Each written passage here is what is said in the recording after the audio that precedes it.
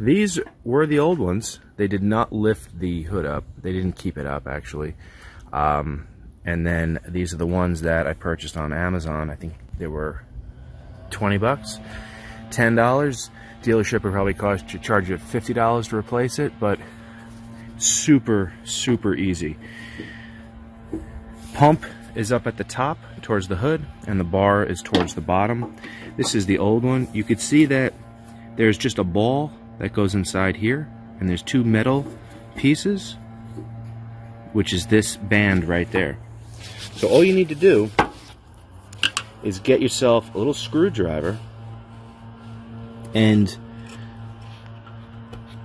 lift that up and you could see that it kind of releases that little clamp right there. And of course I should have done this before, but there's a little ball right there.